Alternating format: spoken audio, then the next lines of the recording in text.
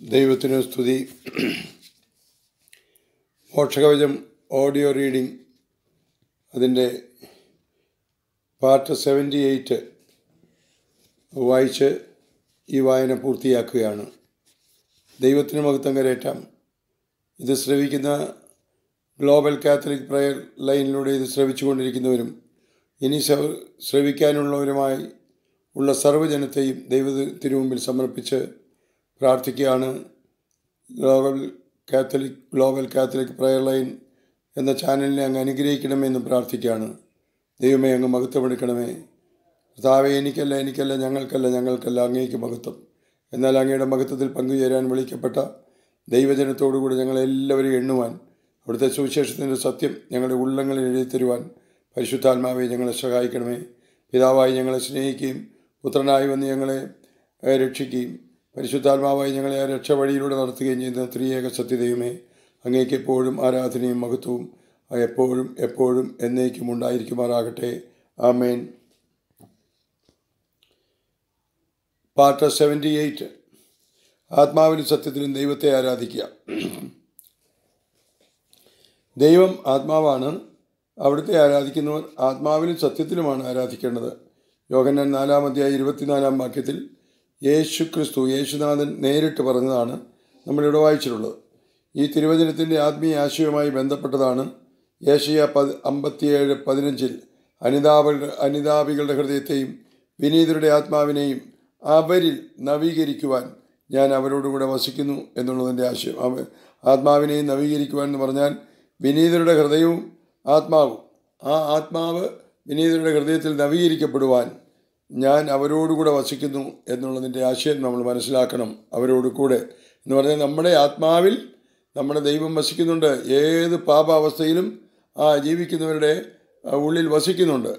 അവിടെ ജഡത്തെ അനുതാപത്താൽ ജഡത്തെ തിരിച്ച് ഈ പ്രകാശത്തിനായി സമർപ്പിക്കുമ്പോൾ നമ്മളിൽ വസിക്കുന്ന ക്രിസ്തു യേശുവിന്റെ ക്രൂ കാൽവരി ക്രൂശിലെ വീണ്ടെടുപ്പ് നമ്മുടെ ഉള്ളിൽ നവമായി അനുഭവിക്കുകയാണ് നവീകരിക്കപ്പെടുകയാണ്. ദൈവത്തിന് സ്തുതി.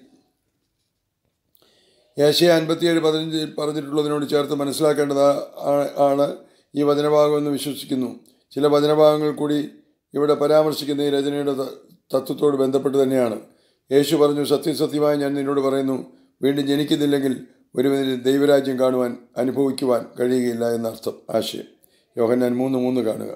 യേശു പ്രതിവഹിച്ചു സത്യസത്യമായി ഞാൻ നിന്നോട് പറയുന്നു. ആത്മ ജലത്താലും ആത്മാവിനാലും ജനിക്കുന്നില്ലെങ്കിൽ ഒരുവനും ദൈവരാജ്യത്തിൽ പ്രവേശിക്കാൻ സാധ്യമല്ല. മാംസത്തിൽ ജനിക്കുന്നത് മാംസമാണ്. അതായത് ജഡത്തിൽ നിന്ന് പാപപ്രകൃതിയുള്ള ജഡത്തിൽ നിന്ന് ജനിക്കുന്നത് ആ പാപപ്രകൃതിയുള്ള മനുഷ്യനാണ്. ആത്മാവിൽ നിന്ന് ജനിക്കുന്നത് ആത്മാവും. നിങ്ങൾ വീണ്ടും ജനിക്കണമെന്ന് പറഞ്ഞതുകൊണ്ട് നീ വിസ്മയിക്കേണ്ടതില്ല. അതായത് നമ്മളിൽ തന്നെയുള്ള ആ പ്രകാശത്തിൽ നമ്മളൊരു ജനനം നടത്തണം. അതായത് നമ്മൾ ആ ആത്മാവിലേക്ക് തിരിഞ്ഞ്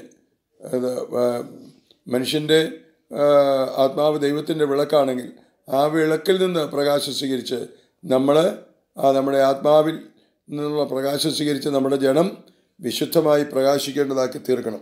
അതിനെയാണ് വീണ്ടും ജനനമെന്ന് പറയുന്നത്. സത്യസത്യമായി ഞാൻ നിന്നോട് പറയുന്നു വീണ്ടും ജനിക്കുന്നില്ലെങ്കിൽ ഒരുവനെ ദൈവരാജ്യം കാണുവാൻ കഴിയുകയില്ല. യേശു പ്രതിവച്ചു സത്യസത്യമായി ഞാൻ നിന്നോട് പറയുന്നു ജലത്താലും ആത്മാവിനാലും ജനിക്കുന്നില്ലെങ്കിൽ ഒരുവനും ദൈവരാജ്യത്തിൽ പ്രവേശിക്കാൻ സാധ്യമല്ല. മാംസത്തിൽ നിന്ന് ജനിക്കുന്നത് മാംസമാണ്. അതായത് ജഡത്തിൽ നിന്ന് ജനിക്കുന്ന ജഡമാണ്. ആത്മാവിൽ നിന്ന് ജനിക്കുന്നത് ആത്മാവും. നിങ്ങൾ വീണ്ടും ജനിക്കണമെന്ന് പറഞ്ഞതുകൊണ്ട് നീ വിസ്മയിക്കേണ്ടതില്ല. യോഹന്നാൻ മൂന്ന് അഞ്ച് ഏഴ്. മൂന്ന് മുതൽ മൂന്നാം അധ്യായം അഞ്ച് മുതൽ ഏഴ് വരെ വാക്യങ്ങൾ. ഇവിടെ വീണ്ടും ജനിക്കാം എന്നുള്ളതിന്റെ ആശയം ജഡപ്രകാരമുള്ള ജീവിതം അവസാനിപ്പിച്ച് തന്നിലുള്ളതിന്റെ ആത്മാവിന്റെ അഭിലാഷമനുസരി അനു അഭിലാഷങ്ങൾക്കനുസൃതമായി ദൈവഹൃതപ്രകാരമുള്ള പുതിയ സൃഷ്ടിയായി തീരുക എന്നുള്ളതാണ്. അതായത് മാനസാന്തരപ്പെട്ട് ജീവിക്കുക എന്നത് തന്നെ. അതുകൊണ്ടാണ് അവിടുത്തെ സുവിശേഷ പ്രസംഗം യേശു ഇപ്രകാരം ആരംഭിച്ചതെന്നുകൂടി പറയാൻ കഴിയും. അത് വായിക്കട്ടെ. യേശു പറഞ്ഞു സമയം പൂർത്തിയായി. ദൈവരാജ്യം സമീപിച്ചിരിക്കുന്നു. അനുദപിച്ച സുവിശേഷത്തിൽ വിശ്വസിക്കും മാർക്കോസ് ഒന്ന് പതിനഞ്ച്. യേശു പ്രസംഗിക്കാൻ തുടങ്ങി. മാനസാന്തരപ്പെടുവിൻ. സ്വർഗരാജ്യം സമീപിച്ചിരിക്കുന്നു. മത്തായി നാല് പതിനേഴ്. മാനസാന്തരപ്പെടുക എന്നുള്ളത് ജഡപ്രകാരമുള്ള പാപജീവിതം ഉപേക്ഷിച്ച് ആത്മാവിൽ ജീവിക്കുക എന്നുള്ളതാണ് എന്നുള്ളത് തന്നെയാണ്. ഇവിടെ ആചാരാനുഷ്ഠാനങ്ങളും മതവും പ്രസക്തമല്ല. വിശദീകരണ രചനയുടെ മുൻപുള്ള ഭാഗങ്ങളിൽ എഴുതി എഴുതിയിട്ടുള്ളതിനാൽ ഇനിയും ആവർത്തിക്കേണ്ടതില്ലല്ലോ. ഇതുകൊണ്ടാണ് ജഡത്തിൽ നിന്ന് ജനിക്കുന്ന ജഡവും അതായത് ജഡപ്രകാരം ഉള്ള മനുഷ്യരിൽ ജഡപ്രകാരം ജനിക്കുന്ന ആ ജീനുകളിൽ പാപത്തിന്റെ അവസ്ഥയുള്ളതുകൊണ്ട് ജഡത്തിൽ പാപാവസ്ഥയുണ്ട്. ആത്മാവിൽ നിന്ന് ജനിക്കുന്ന ആത്മാവ് എന്ന് യേശുനാഥൻ അരുൾ ചെയ്തത്. അതായത് അങ്ങനെയുള്ള അവസ്ഥയിൽ ജനിക്കുന്നവർ ആത്മാവിലേക്ക് തിരിച്ചറിവായി കഴിയുമ്പോൾ ആത്മപ്രകാശത്തിലേക്ക് അത് നമ്മുടെ ഉള്ളിൽ നമ്മുടെ ആത്മാവായിരിക്കുന്ന ആ പ്രകാശത്തിലേക്ക് ദൈവത്തിന്റെ വിളക്കിലേക്ക് തിരിഞ്ഞ് ആ പ്രകാശത്തെ സ്വീകരിച്ച് നമ്മുടെ നമ്മുടെ ശുദ്ധിയുള്ളവരാക്കണം. അതിനാണ് അനുതാപിച്ച് മാനസാന്തരപ്പെടുക എന്ന് പറയുന്നത് ദൈവത്തിന്റെ സ്തുതി. ഏഷ്യ അൻപത്തിയേഴ് പതിനഞ്ചിൽ അനുതാപികളുടെ ഹൃദയത്തെയും വിനീന്ദ്രയുടെ ആത്മാവിനെയും അവരിൽ നവീകരിക്കുവാൻ എന്ന് ഞാൻ അവരിൽ നിന്നുള്ള ഞാൻ ചേർക്കുകയാണ് അവരിൽ ഞാൻ അനേ അവരോടുകൂടെ വസിക്കുന്നു. ആ കാരണം നമ്മുടെ ആത്മാവ് ദൈവത്തിന്റെ വിളക്കായതുകൊണ്ട് നമുക്ക് ദൈവരൂപം ദൈവം നമ്മുടെ ആത്മാവിൽ നമ്മോട് കൂടെ ഉണ്ട്.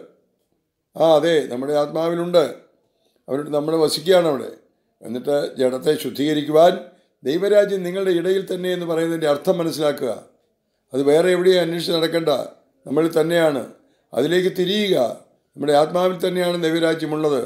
അതുകൊണ്ട് human spirit is the lamp of the lord ദൈവത്തിന്റെ വിളക്കിൽ നിന്നുള്ള പ്രകാശം സ്വീകരിക്കുവാൻ നമ്മൾ മനസ്സ് വെച്ച് അങ്ങോട്ട് തിരിയുമ്പോൾ തന്നെ നമ്മുടെ ജഡം പ്രകാശിതരാകുകയും നമ്മുടെ വ്യക്തിത്വം പ്രകാശിതമായി തീരുകയും നമ്മൾ ദൈവരൂപം പ്രാപിക്കുകയുമാണെന്ന് പ്രിയപ്പെട്ടവരെ അറിയുക.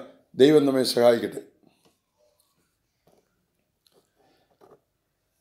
ജഡപ്രകാരമുള്ള പാപജീവിതം അനുതാപത്താൽ ഉപേക്ഷിക്കുവാനും ആത്മാവിനുള്ള ജീവിതം എന്തെന്നറിഞ്ഞ് വിശ്വസിച്ച് വിശദീകരണത്താൽ പുതുക്കപ്പെട്ട ആത്മാവിൽ ജീവിക്കുവാനും സുവിശേഷത്തിന്റെ കേൾവി അഥവാ വചന സന്ദേശമാണ് സഹായമായി തീരുന്നത്. റോമർ പത്താം അധ്യായം പതിനേഴാം വാക്യം കാണുക. പതിനേഴാം വാക്യം മനസ്സിലാക്കുക. ഇപ്രകാരം വചന സന്ദേശം നൽകുന്നതിനെയും കേൾവിയാൽ ഒരു വ്യക്തി വിശ്വാസത്തിൽ ആത്മാവായി തീരുന്ന വിശ്വാസത്തിലായി തീരുന്നതിന്റെയും അധികാരിയായ സത്യത്തിന്റെ ആത്മാവ് ജ്ഞാനത്തിന്റെ ആത്മാവ് പ്രവർത്തന നിരതമായിരിക്കുന്നതിനാൽ വചനം കേൾക്കുന്നവൻ അതാ സ്വീകരിക്കുന്നവൻ ശുദ്ധിയുള്ളവനായിത്തീരുന്നു. യോഹന്നാൻ പതിനഞ്ചാം അധ്യായം മൂന്നാം വാക്യം കാണുക. ഞാൻ നിങ്ങളോട് പറഞ്ഞ നിമിത്തം പറഞ്ഞ വചനം നിമിത്തം നിങ്ങൾ ശുദ്ധിയുള്ളവരായിരിക്കുന്നു. യേശുനാഥൻ പറഞ്ഞിട്ടുള്ളതിന്റെ ആശയം നിങ്ങൾ ആത്മാവിൽ ജനിച്ചിരിക്കുന്നു എന്നുള്ളത് തന്നെയാണ്. അതായത് നിങ്ങൾ നമ്മളിൽ തന്നെയുള്ള ആ പ്രകാശത്തിൽ നിങ്ങളിതാ പ്രകാശിതരായി ആയിരിക്കുന്നു. പ്രകാശമായ ദൈവത്തിന്റെ രൂപം പ്രാപിച്ചിരിക്കുന്നു നിങ്ങളുടെ ജഡത്തിലും അല്ലെങ്കിൽ നിങ്ങളുടെ വ്യക്തിത്വത്തിലും. ഇപ്പോൾ നിങ്ങളുടെ വ്യക്തിത്വം ആത്മവ്യക്തിത്വമാണെന്നാണ് കർത്താവ് അവിടെ പറയുന്നത്. ശുദ്ധിയുള്ളവരായിരിക്കുന്നു എന്ന് പറഞ്ഞ്. ഞാൻ നിങ്ങളോട് പറഞ്ഞ വചനം നിമിത്തം നിങ്ങൾ ശുദ്ധിയുള്ളവരാ ആയിരിക്കുന്നു. യോഗനാൻ പതിനഞ്ച് മൂന്ന്. എന്ന് യേശുനാഥൻ പറഞ്ഞിട്ടുള്ളതിന്റെ ആശയം നിങ്ങൾ ആത്മാവിൽ ജനിക്കുന്നു ജനിച്ചിരിക്കുന്നു എന്നുള്ളത് തന്നെയാണെന്ന് ഒന്നുകൂടി ആവർത്തിച്ച് പറയട്ടെ. തിരുവചനത്തെ ജലത്തോടെ ഉപയോഗിച്ചിരിക്കുന്നതിന്റെ ആത്മീയ അടിസ്ഥാനം ശുദ്ധീകരണം എന്നുള്ളതാണ്. എന്നു എന്നുള്ളതുമാണ്. ഞാൻ നൽകുന്ന വെള്ളം കുടിക്കുന്നവന് പിന്നീട് ഒരിക്കലും ദാഹിക്കില്ല. ഞാൻ നൽകുന്ന ജലം അവനിൽ നിത്യജീവനിലേക്ക് നിരക്കളിക്കുന്ന അരുവിയാകും. യോഹന്നാൻ നാല് പതിനാല്. ഇവിടെ പറഞ്ഞിട്ടുള്ള ജലം നിത്യജീവൻ തന്നെയായ വചനം തന്നെയായ ജ്ഞാനം തന്നെയാണ് എന്നുള്ളതാണ് ശരിക്കും മനസ്സിലാക്കുക. ക്രിസ്തു തന്നെയാണത്. ഈ സത്യം മനസ്സിലാക്കിയത് കൊണ്ടാണ് ഷിമയോൻ പത്രോസ് യേശുവിനോട് ഇപ്രകാരം പറഞ്ഞത്. കർത്താവെ ഞങ്ങൾ ആരുടെ അടുത്തേക്ക് പോകും? നിത്യജീവന്റെ വചനങ്ങൾ നിന്റെ പക്കലാണല്ലോ ഉള്ളത്. അതിന്റെ ആത്മീയാശം പറയുകയാണെങ്കിൽ നിത്യജീവൻ നീ തന്നെയാണല്ലോ കർത്താവെ ഞങ്ങൾ പിന്നെ എവിടെ പോകാനാണ്? എന്നുമുണ്ട്. ഇതിനാൽ തന്നെയാണ് യേശുക്രിസ്തുവിനോട് ഐക്യപ്പെട്ടിരിക്കുന്നവർക്ക് ശിക്ഷാവിധിയില്ല. എന്നാൽ യേശുക്രിസ്തുവിലുള്ള ജീവാത്മാവിന്റെ നിയമം നിന്നെ പാപത്തിന്റെയും മരണത്തിന്റെയും നിയമത്തിൽ നിന്നും സ്വതന്ത്രനാക്കി സ്വതന്ത്രനാക്കിയിരിക്കുന്നുവെന്ന് വിശുദ്ധ പൗലോസ് പരിശുദ്ധാത്മശക്തിയാൽ സധൈര്യം പറഞ്ഞത്. റോമർ എട്ടാം അധ്യായവും എട്ടാം അധ്യായത്തിന്റെ ഒന്നും രണ്ടും വാക്യങ്ങൾ എപ്പോഴും നമ്മൾ വായിച്ച് ചിന്തിച്ച് നമ്മളിപ്പോൾ എവിടെ ജീവിക്കുന്നു എപ്രകാരം ജീവിക്കുന്നു എന്ന് ചിന്തിക്കുന്നത് നല്ലതാണ്. ഈ വചനഭാഗത്തെപ്പറ്റി രചനയുടെ മുൻഭാഗങ്ങളിൽ വിശദീകരണം നൽകിയിട്ടുള്ളത് ഇവിടെ ഓർമ്മിക്കുന്നത് നന്ന് എന്ന് സൂചിപ്പിക്കട്ടെ. യേശുക്രിസ്തുവുള്ള ജീവാത്മാവിന്റെ നിയമം അതായത് ജീവന്റെ നിയമം ജഡത്തിൽ പാപത്തിന്റെ സ്പർശനം ഒട്ടുമില്ലാതിരിക്കുക എന്നുള്ളതാണ്. അതായത് മനുഷ്യനുള്ള ദൈവരൂപമായ മനുഷ്യന്റെ ആത്മാവിൽ ജീവിക്കുക എന്നുള്ളത് തന്നെയാണത്. ജഡം ആത്മാവിന്റെ അഭിലാഷങ്ങൾക്കനുസരിച്ചുള്ളതായിരിക്കുക ആത്മാവിന്റെ അഭിലാഷത്തിനനുസരിച്ചിട്ടുള്ളത് ഉള്ളതായിരിക്കണം ജഡം എന്നുള്ളത് തന്നെയാണ് അവിടുത്തെ ആത്മീയ ആശയം. ഇപ്രകാരം മികത്തിൽ ജീവിച്ച് സർവ മനുഷ്യർക്കും ആത്മാവിലുള്ള ജീവിതത്തിന്റെ ഉത്തമ മാതൃകയായി തീർന്നവനാണ് പരിപൂ പൂർണ മനുഷ്യനായിരുന്ന മനുഷ്യപുത്രൻ യേശു.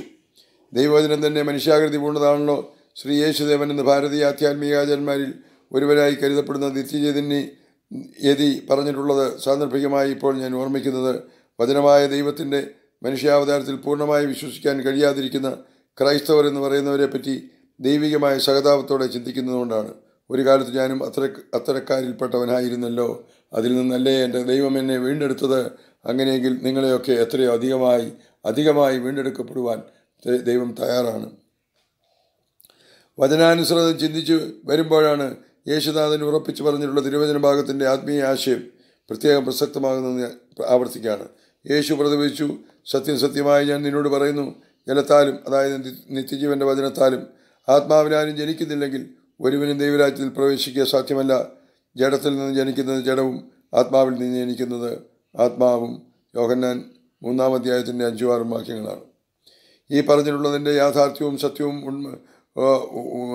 ഈ പറഞ്ഞിട്ടുള്ളതിന്റെ യാഥാർത്ഥ്യവും സത്യവും പൂർണമായി മനസ്സിലാക്കി യേശുവിന്റെ ക്രൂശ് മരണത്തിലും ഉത്ഥാനത്തിലും വിശ്വസിക്കാൻ കഴിഞ്ഞതുകൊണ്ടാണ് വിശുദ്ധ പൗലോസ് ഇപ്രകാരം പ്രസ്താവിച്ചതെന്നാണ് ഞാൻ കരുതുന്നത് വിശ്വസിക്കുന്നത്. ഒരു പുതിയ സൃഷ്ടിയാവുക എന്നതാണ് പരമപ്രധാനം. ഗലാത്തി ആറ് പതിനഞ്ച്. ഇപ്രകാരം പുതിയ സൃഷ്ടികളായി തീർന്നവരാണ് ആത്മാവിന് സത്യത്തിലും ദൈവത്തെ ആരാധിക്കുന്നത് അതായത് വിശുദ്ധിയിൽ ജീവിക്കുന്നവർ. ഇങ്ങനെയുള്ളവരുടെ ആത്മാവിൽ ദൈവാത്മാവ് പരിശുദ്ധാത്മാവ് പ്രവർത്തന നിരതമായിരിക്കുന്നതിന്റെ അനുഭവം സജീവമായിട്ടുള്ളതിനാൽ ഇവരുടെ ജഡവും അതായത് ഹൃദയവും അഥവാ ഉള്ളവും അവരുടെ ആത്മാവിലൂടെ നവീകരിക്കപ്പെട്ടുകൊണ്ടിരിക്കുകയാണ്.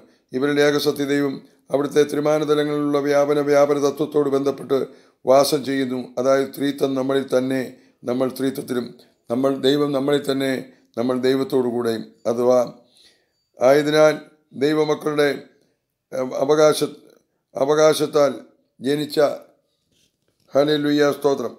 ആയതിനാൽ ദൈവമക്കളുടെ അവകാശത്താൽ ജഡത്തെ നിഗനിച്ചുകൊണ്ട് പരിശുദ്ധാത്മ നിവേശത്താൽ ആത്മാവിൽ ജീവിക്കുന്ന പുതിയ സൃഷ്ടികളായിരിക്കുന്നതിനാൽ ഇവർ ആത്മാവിനും സത്യത്തിലും അതായത് വചനത്താൽ ദൈവത്തെ ആരാധിക്കുന്നു. അവരുടെ ആത്മാവിൽ തന്നെ റോമക്കാർ എഴുതിയ ലേഖനം പന്ത്രണ്ടാം അധ്യായം ഒന്നാം വാക്യം കാണുക.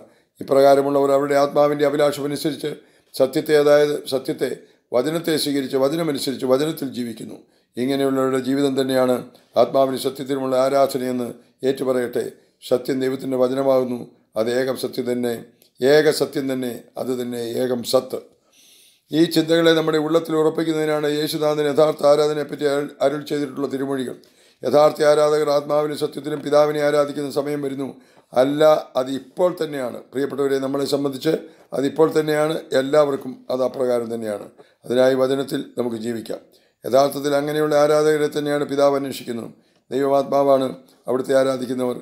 ആത്മാവിന് സത്യത്തിലുമാണ് ആരാധിക്കേണ്ടത്. യോഹനൻ നാലാമത്തെയായി ഇരുപത്തിമൂന്നും ഇരുപത്തിനാലും വാക്യങ്ങൾ കാണുക. ആത്മാവിന് സത്യത്തിലുമുള്ള യഥാർത്ഥമായ ആരാധന ഇടപ്രകാരമുള്ള പാപജീവിതത്തെ ഉപേക്ഷിച്ച് ദൈവമനുഷ്യൽ പ്രതിപാദനം ചെയ്തിരിക്കുന്ന എൻട്രസ്റ്റഡ് എൻട്രസ്റ്റിംഗ് ചെയ്തിട്ടുള്ള ദൈവ ദൈവരൂപത്തോട് അതായത് നമ്മുടെ ആത്മാവിനോട് അനുരൂപപ്പെട്ട് അഥവാ മനുഷ്യനുള്ള ആത്മാവിന്റെ അഭിലാഷമനുസരിച്ച് പാപത്താൽ ബന്ധിതമായ ജഡജീവിതം ഉപേക്ഷിച്ച് തങ്ങളെ തന്നെ വിശുദ്ധി വിശുദ്ധരാക്കിക്കൊണ്ടുള്ള ജീവിതമാണ്. ഒന്ന് യോഗനാൻ മൂന്ന് മൂന്ന് കാണുക. ഇതേപ്പറ്റി തന്നെയാണ് പൗലോസ പുസ്തകൻ ഇപ്രകാരം പ്രബോധിപ്പിച്ചിട്ടുള്ളത്. ആകയാൽ സഹോദരരെ ദൈവത്തിന്റെ കാരുണ്യം അനുസ്മരിച്ചുകൊണ്ട് ഞാൻ നിങ്ങളോട് അപേക്ഷിക്കുന്നു. നിങ്ങളുടെ ശരീരങ്ങളെ അത് അതായത് ജഡത്തെ വിശുദ്ധവും ദൈവത്തിന് പ്രീതികരവുമായ സജീവ ബലിയായി സമർപ്പിക്കുവിൻ.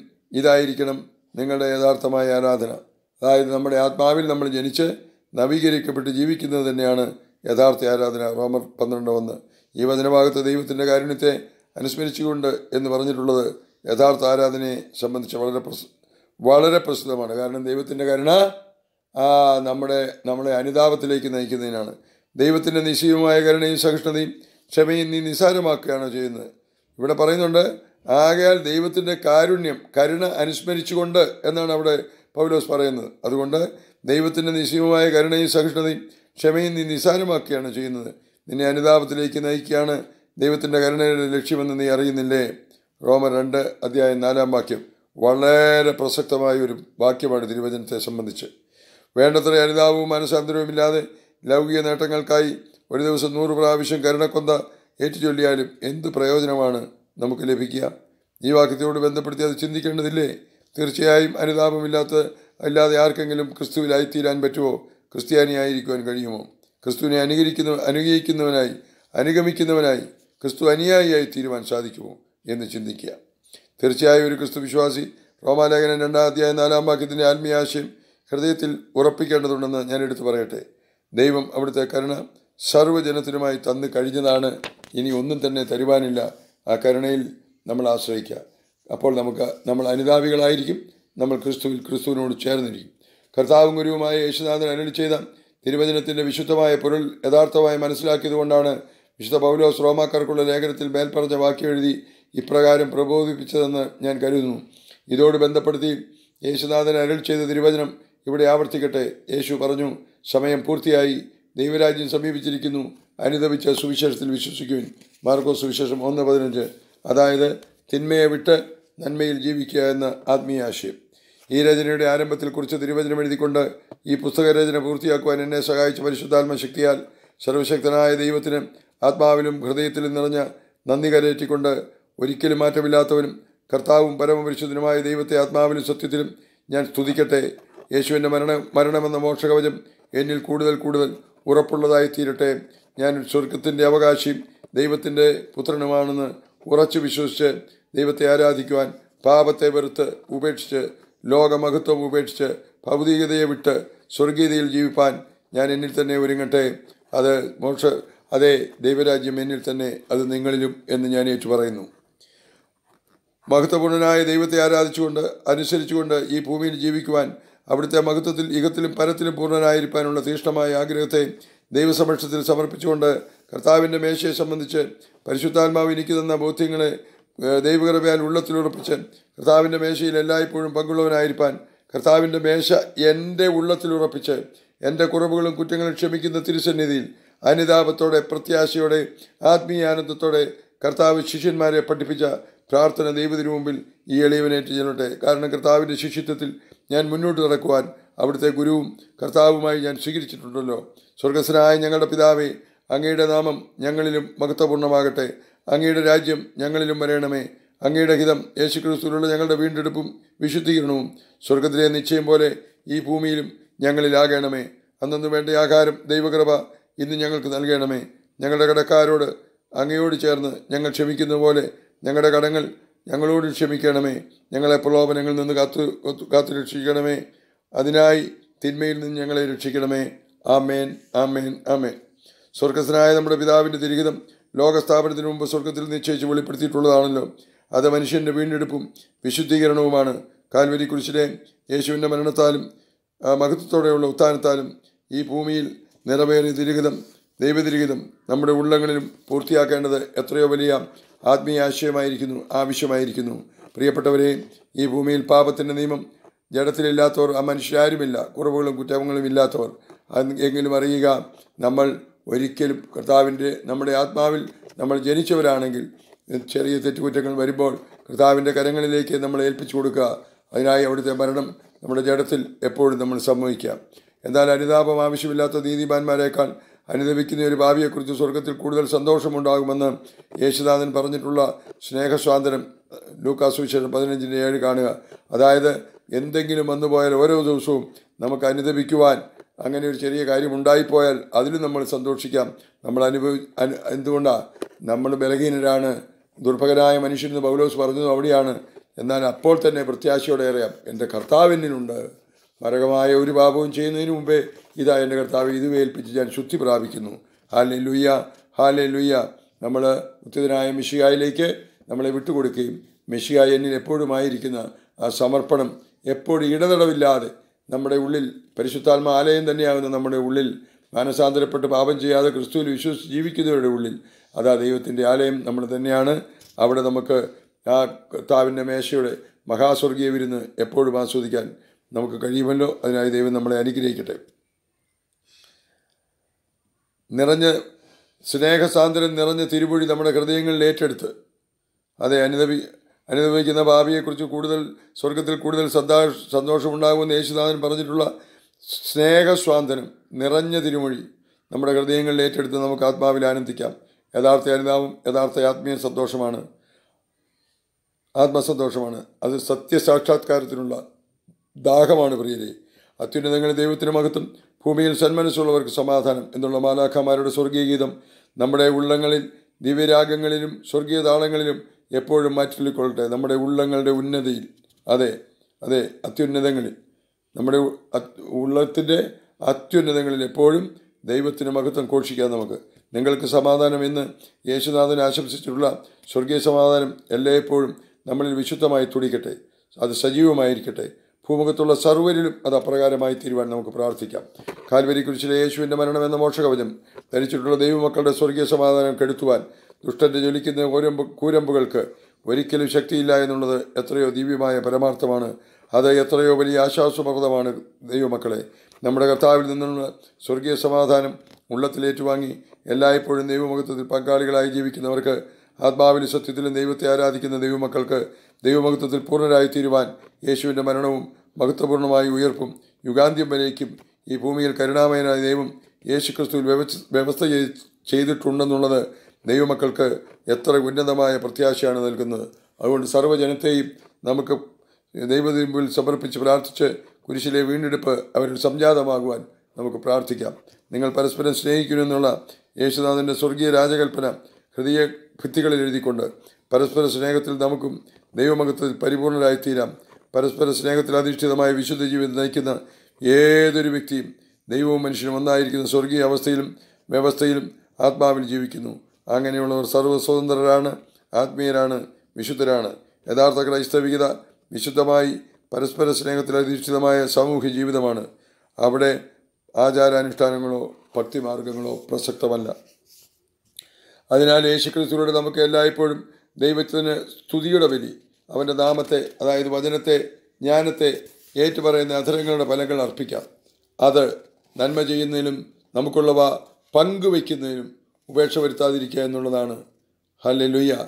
ചെയ്യാൻ കഴിയുന്ന നന്മ ചെയ്യാതിരിക്കുന്നതാണ് പാപമെന്ന് യാക്കോബ് ശ്രീക പറഞ്ഞത് നമുക്ക് ഓർക്കാം. നമുക്ക് എന്താണ്? ഏറ്റുപറയുന്ന അതിരങ്ങളുടെ ഫലങ്ങൾ അർപ്പിക്കാം. നന്മ ചെയ്യുന്നതിനും നമുക്കുള്ള പങ്കുവയ്ക്കുന്നതിനും ഉപേക്ഷ വരുത്താതിരിക്കാം എന്നുള്ളതാണ് എന്നുള്ളതാണ്. അത്തരം ബലികൾ ദൈവത്തിന് പ്രീതികരമാണെന്നും പറയുന്നു എബ്രായ ലേഖനം പതിമൂന്നാം അധ്യായം പതിനഞ്ച് പതിനാറ് വാക്യങ്ങൾ കാണുക. ഇപ്രകാരമുള്ള ബലികൾ അർപ്പിക്കുവാൻ നമുക്ക് നമ്മെ തന്നെ ദൈവത്തിന് മുമ്പിൽ സമർപ്പിക്കാം പ്രിയരെ. പ്രിയ ദൈവജനമേ നമുക്ക് ദൈവത്തിനും നന്ദി പറയാം. ഈ പുസ്തക വായന ഇവിടെ പര്യവസാനിപ്പിക്കുന്നെങ്കിലും പരിശുദ്ധാത്മാവ് നമ്മുടെ ഹൃദയത്തിൽ ഇത് വീണ്ടും വീണ്ടും ഒരു പ്രതിധ്വനിയായി എപ്പോഴും നൽകിക്കൊണ്ടിരിക്കുവാൻ നമുക്ക് കർത്താവിൽ ആശ്രയിക്കാം. എല്ലാ മഹത്വവും അനന്ത നന്മ സ്വരൂപിയായ ദൈവത്തിന് മാത്രമുള്ളതാണെന്ന് നമുക്ക് ഓർക്കാം.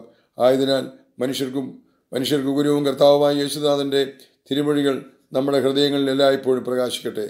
നിങ്ങൾ ലോകത്തിന്റെ പ്രകാശമാണ്. പ്രിയപ്പെട്ടവരെ നമ്മൾ ലോകത്തിന്റെ പ്രകാശമാണെന്നറിഞ്ഞ് മറ്റുള്ളവരിലേക്ക് പ്രകാശം കൊടുക്കുവാൻ നമുക്ക് ദൈവത്തിന് മുമ്പിൽ വളരെ വിനയത്തോടെ തലതാഴ്ത്തി മുട്ടുപടക്കി ദൈവസന്നിധിയിലായിരിക്കാം എപ്പോഴും എപ്പോഴും എന്നേക്കും.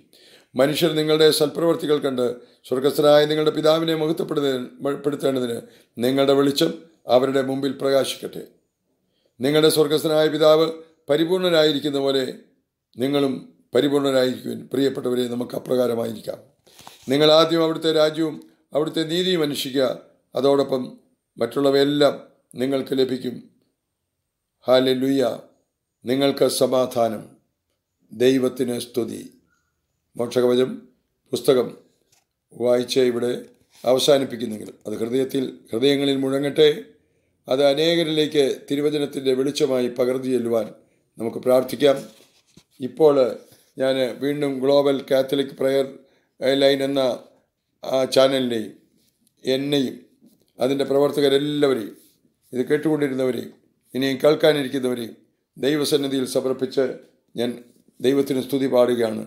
ഹല്ലേ ലുയ ഹല്ലേ ലുയ ഹല്ലേ ദൈവമേ വരണമേ കർത്താവേ വരണമേ.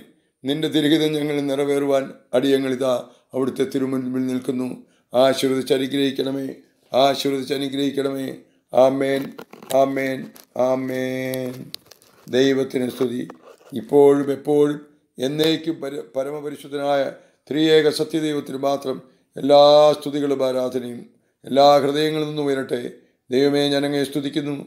കർത്താവെ ഞാനങ്ങെ വാഴ്ത്തുന്നു. എല്ലാം നമ്മുടെ കർത്താവും ക്രിസ്തുവുമായ യേശു ക്രിസ്തുവിന്റെ ധന്യനാമത്തിൽ പരിശുദ്ധനായ ദൈവമേ അവിടുത്തെ തിരുമുമ്പിൽ പരിശുദ്ധാൽപ സഹവാസത്തിൽ പിതാവായി സ്നേ ഞങ്ങളെ സ്നേഹിക്കുന്ന അവിടുത്തെ സ്നേഹത്തിൽ തന്നെ ആമേൻ ആമേൻ. കർത്താവെ കനിയണമേ. ക്രിസ്തുവേ കനിയണമേ കർത്താവെ കനിയണമേ ക്രിസ്തുവേ കനിയണമേ. ദൈവമേ സ്തുതി ദൈവമേ ആരാധന ദൈവമേ മഹത്വം അങ്ങേക്ക് മാത്രം എന്നേക്കും എപ്പോഴും ദൈവമേ അവിടുത്തേക്ക് മാത്രമല്ല മഹത്വവും ആ മഹത്വത്തിൽ പങ്കുചേരാൻ വിളിക്കപ്പെട്ടവരായ ഞങ്ങൾ അവിടുത്തെ തിരുമുമ്പിലിതാ അവിടുത്തെ കരം ചേർത്ത് പിടിച്ച് പറയുന്നു കർത്താവെ ഞങ്ങളിതാ ഞങ്ങളിൽ അങ്ങ് എപ്പോഴും വസിക്കണമേ. ആമേൻ ആമേൻ ആമേൻ.